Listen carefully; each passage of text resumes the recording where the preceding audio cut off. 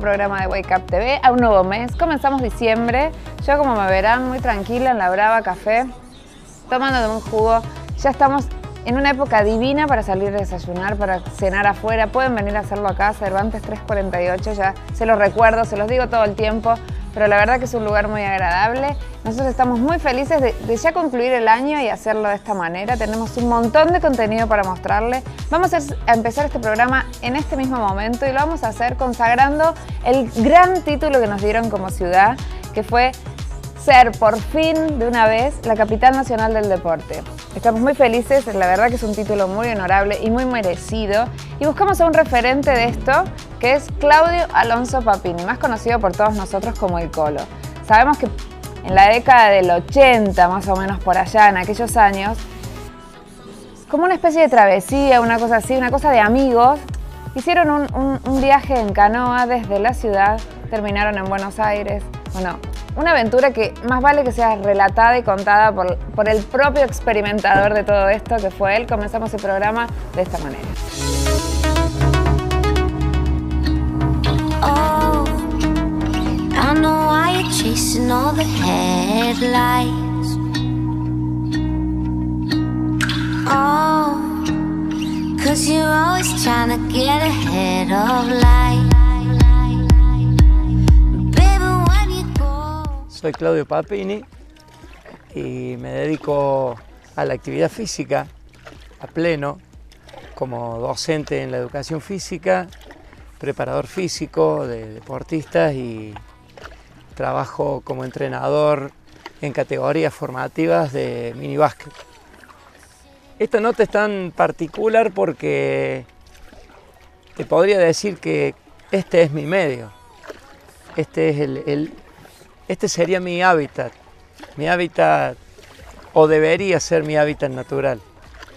Eh, me apasiona esto, eh, amo la naturaleza, el agua y todo lo que rodea a este entorno tan hermoso y, bueno, este, de ahí que viene toda mi, pasión y el amor a este tipo de actividades, eh, de la aventura, de, las excursiones, de remar con amigos, de tener tantas vivencias y justamente en este medio. Quizás sea eso lo que me llevó a, querer tanto esta actividad, porque tengo compartidos miles de momentos muy especiales, eh, días, noches pasadas a la orilla de ríos, de grandes ríos, de ríos pequeños, y, compartir, compartir vivencias, charlas, compartir silencios.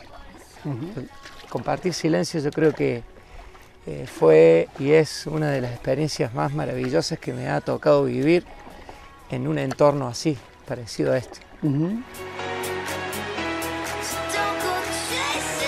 Vos, tu gente, tus viajes, ¿sí?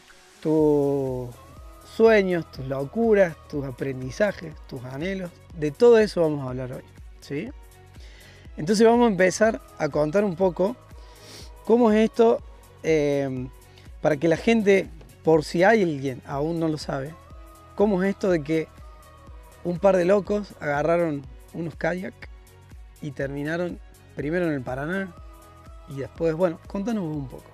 Bueno, esta historia eh, el origen en realidad es una, agrupación de Boy Scout hace ya muchos años, donde mis padres me llevaron por primera vez a los siete años de edad, casi por cumplir ocho, y, desde allí te tengo que contar que es el, el origen después de, todas estas aventuras, de todas estas vivencias que hemos empezado a, transitar con un grupo de amigos también de la misma agrupación Scout, donde, donde nos hicimos hermanos eh, al lado de, tener vivencias en la naturaleza.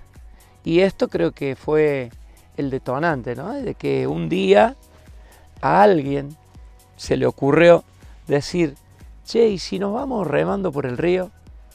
Y bueno, ¿y a dónde vamos?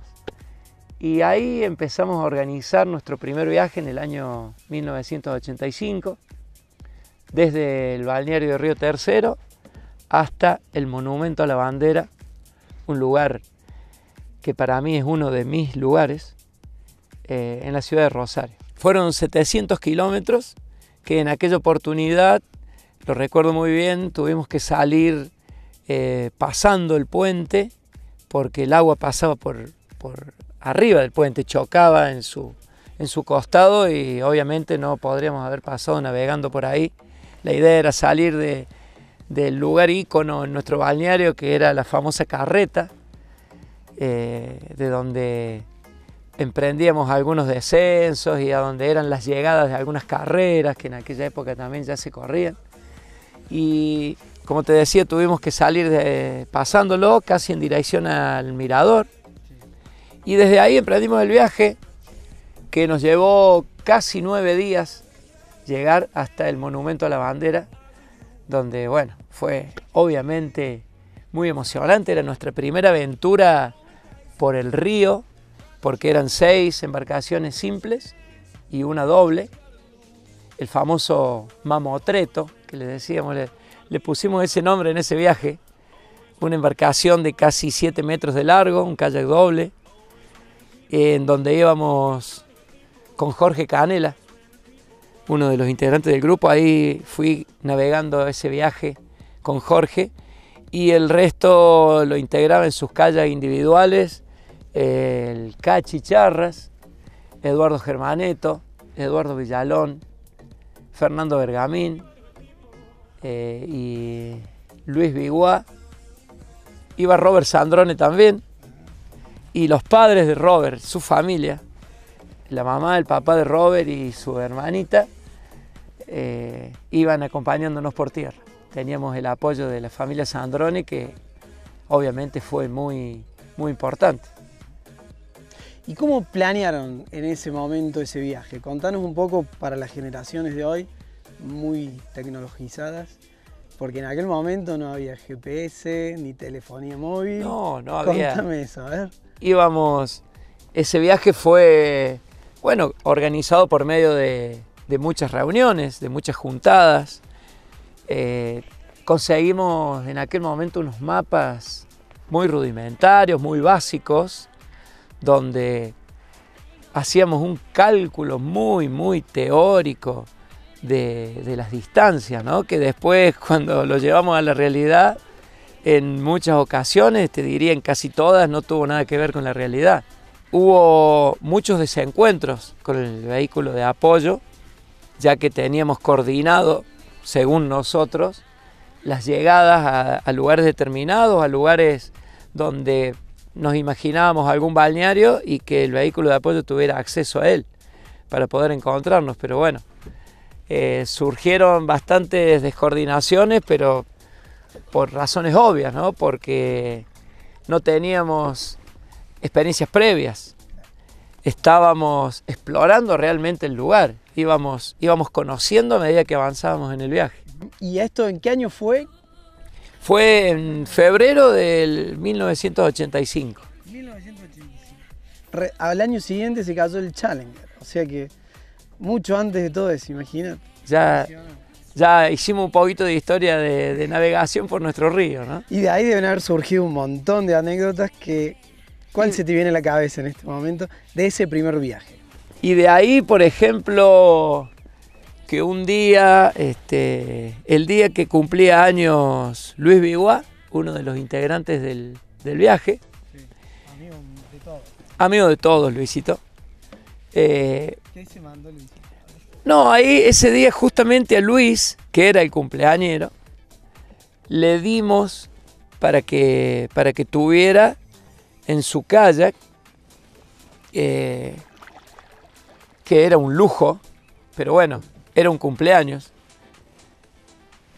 Que te tengo que ser sincero, eh, eh, voy recordando mientras te cuento y me parece, no sé si era el cumpleaños de Luis, pero era el cumpleaños de alguno de los, de los navegantes y Luis en ese momento, si no era el más hábil, era uno de los más hábiles en, en su kayak, era uno de los que mejor hacía el rol en, ocasión de, darse vuelta, como el calle era todo cerrado.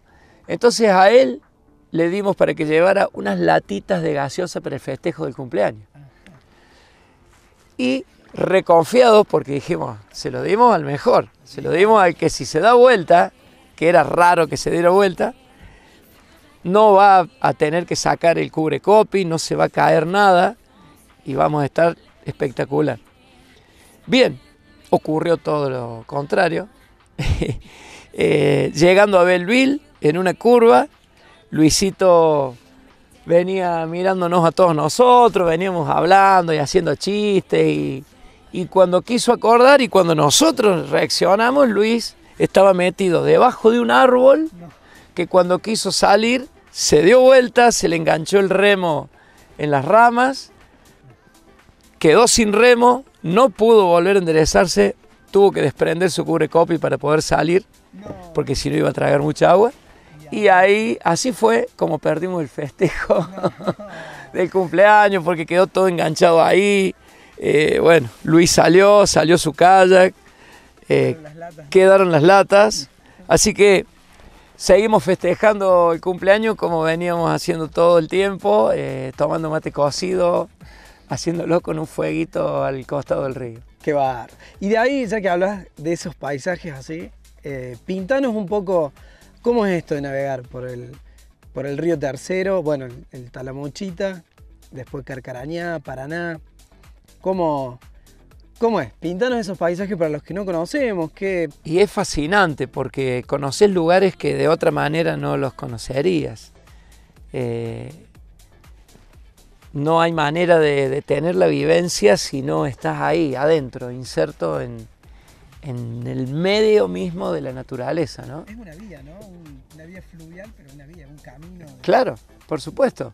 Único, intransitable, pero... Eh, es único, vos lo dijiste, porque aparte eh, vas vivenciando los cambios, los cambios de la flora y la fauna, dependiendo del lugar hacia donde avanzamos y de las cercanías a los ríos más grandes, al, río Paraná, a las barrancas altísimas de un lado y, tener otro tipo de vegetación diferente a la nuestra.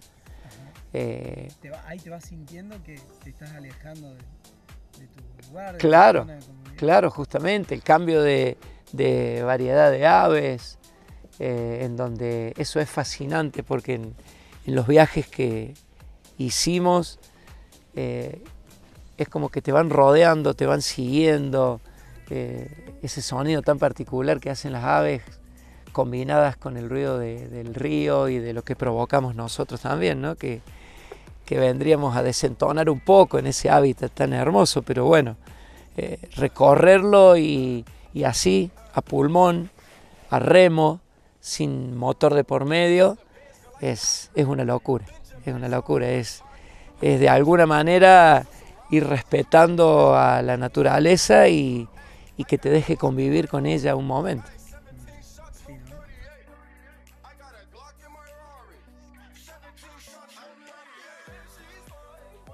Eh, luego de ahí surge la idea en el año 89 de, hacer otro viaje un poquito más lejos, eh, que nos tomara más tiempo.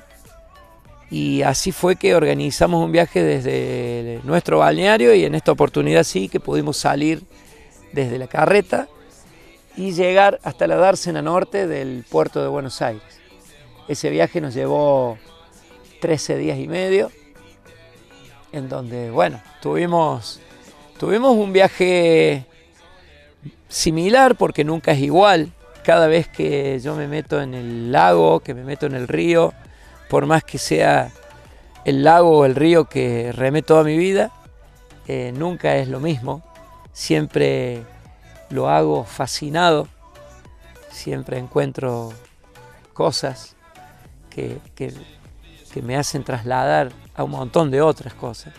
En la última noche que, pasamos, que fue en San Fernando, justamente en un, al lado de un puesto de prefectura, hicimos la, última noche de ese viaje. Todavía estábamos por el Paraná, habíamos navegado ese día por el delta del Paraná, un, recuerdo que fue un día domingo, donde tuvimos que, eh, mira, remábamos, con un remo podía ir en el agua y el otro casi en la costa, teníamos que ir los cuatro, en aquel momento éramos cuatro los, los aventureros de este viaje.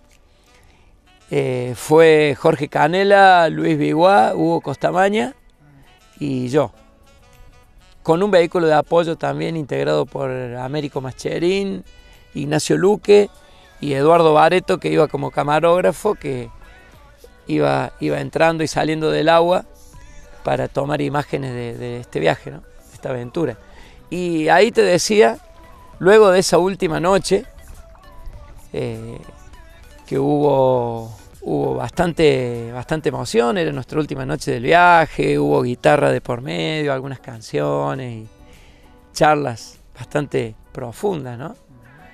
Como normalmente sucedía, el momento de la noche era muy especial en estos viajes. Salimos navegando de San Fernando y a los poquitos metros ya entrábamos en el río de la Plata. Un río para nosotros si bien el, río Paraná eh, es inmenso y, muy grande, muy caudaloso, muy extenso, el río de la Plata es nada más y nada menos que el río más ancho del mundo. Entonces entrábamos a ese río. Y minutitos antes de entrar, yo iba más atrás que el resto de mis tres compañeros y miro a la derecha un yate inmenso, un yate que me, impactó realmente. ¿no?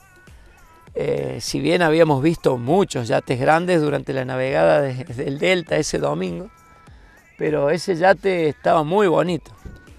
Entonces me, me acerco, los llamo a mis compañeros y me acerco y cuando me acerco me encuentro con la sorpresa de que en ese yate a las ocho y media de la mañana Ah, era bien temprano. Ocho y media de la mañana, en la parte descubierta del yate, una mesa redonda, grande, dos sillas, dos personas de cuerpo muy voluminoso sentadas ahí y un botellón de esos cuadrados que debe haber sido muy caro de whisky, con un vaso cada uno.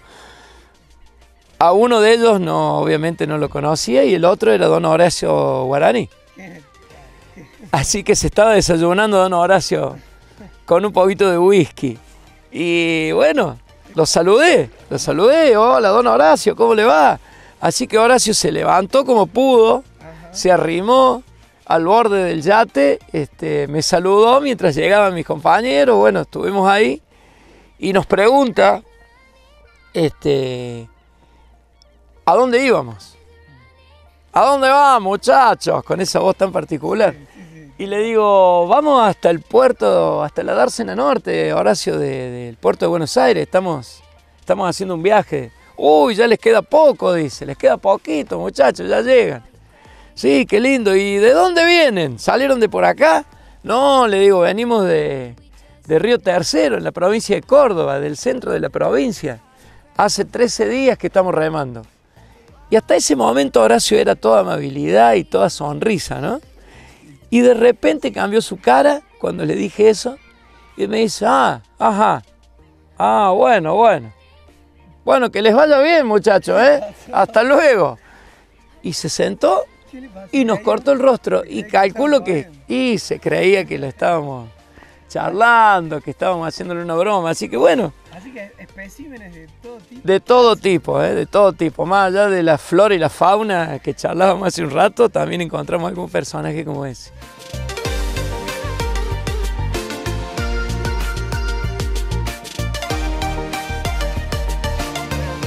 Cuando hicimos el último viaje, el anteúltimo viaje para mí con, con Javier, que íbamos hasta Punta del Este, el día antes de llegar a Punta del Este salimos esa mañana, una mañana así, como la que tenemos hoy, con, el mar este, tranquilo, relativamente tranquilo, con el oleaje natural del mar y que justamente por ese oleaje natural teníamos que entrarnos muchísimo. Mientras más adentro del mar vas, mejor navegas.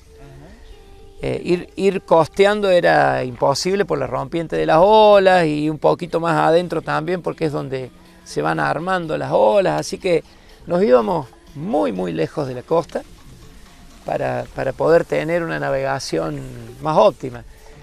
Y bueno, salimos muy bien eh, y, y a bastante tiempo que nos faltaba de llegar para, para hacer, finalizar nuestro viaje, porque en realidad era el día 19 y veníamos bien, sin, sin tenerlo en cuenta y sin pretender tener un, tener un tiempo, un récord.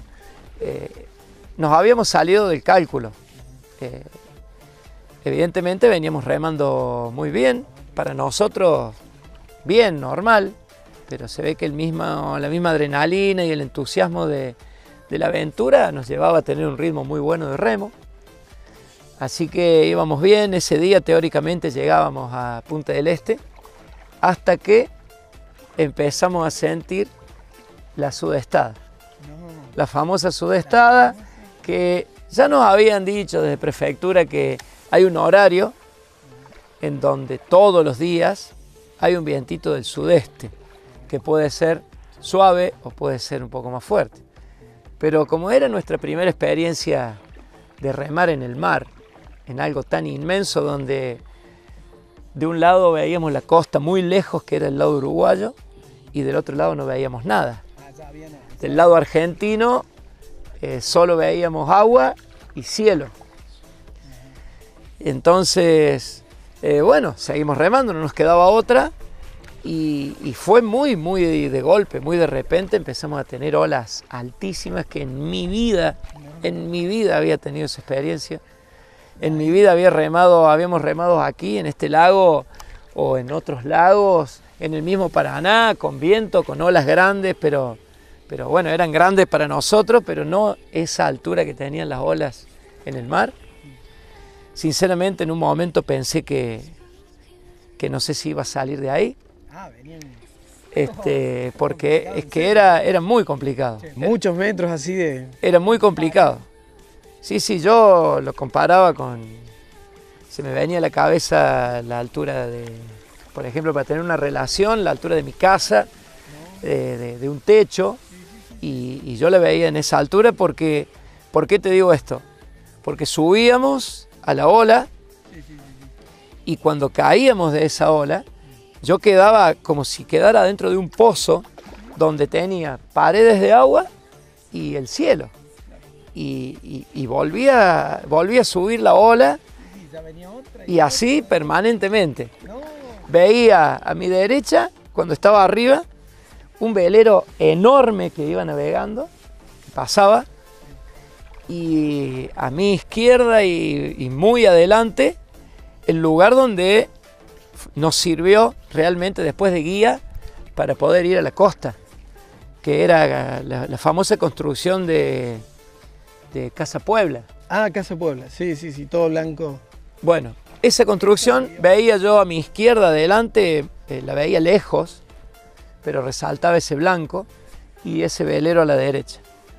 Eh, esa era la, la, única referencia que tenía, eh, de ver lejísimos la costa. Y, y, de repente no vi más a mi compañero. A Javier no lo vi más, él no me vio más a mí porque, bueno, eh, nos perdimos, nos perdimos los dos de vista. Eh, así que cada uno por su lado iba a tratar de sobrevivir a esto. ¿Y la cabeza cómo funciona? Particularmente mi kayak estaba muy complicado porque eh, estas cuestiones de que uno las deja pasar porque ya era el último día, mi kayak se había despegado todo un borde, la pestaña que tiene para enganchar el cubre copy y para tapar en donde uno va, va agarrado, eh, esa pestaña se había, todo el lateral se había despegado el día anterior. O sea que se te metía agua adentro. Y el kayak eh, repleto de agua, como si esta embarcación en este momento tuviera agua hasta acá arriba. Yo sentía las cosas que me pegaban, que flotaban adentro, y esa agua adentro se mueve y te, te hace perder absolutamente toda la estabilidad de la embarcación. Más el movimiento de las olas. Más el peso, te, te carga más peso. De ahí, claro, el peso tremendo y la masa de agua que adentro te, te mueve. Entonces, bueno, de ahí que venía este tema de que yo no sabía si de ahí iba a salir. Ah, venías. ¿Y tu cabeza cómo trabajó Y ahí? mi cabeza iba a mil pensando un montón de cosas, pero eh, bueno, la, sinceramente la gran capacidad física que tenía en ese momento, por haber entrenado muchísimo para este viaje, más esta cosa de la supervivencia, de instinto que tiene el ser humano, y de, de no bajar los brazos jamás, de no abandonar, porque por ahí uno podría haber dicho, listo, hasta acá llegué. Eh, la verdad fue un momento que ahora lo cuento y, digo, dentro de lo feo fue un lindo momento porque fue una experiencia para mí inolvidable, única. Y fueron prácticamente 50 minutos de remar en esa condición, en donde el físico, si no hubiera estado bien, eh, no sé qué pasaba para mantener el equilibrio y para mantenernos en orden. Y qué bueno el no entregarse y, y Eh, pelear hasta el final, ¿no? Justamente, justamente. Ahí después valorás eh, todo lo que en definitiva uno aprendió en esa vida scout que tuve, que, Hay que entregar todo. que aprendí mucho y, y aprendí a, a sobrellevar ciertas situaciones. ¿no? Qué bueno. Nos vamos a otra pausa. ¿Te parece? Me parece muy bien. Sole, seguimos con Wake Up. Wake Up sigue, lo maneja la Sole a partir de ahora. Ella nos va a decir qué hacemos. Grande, Colo.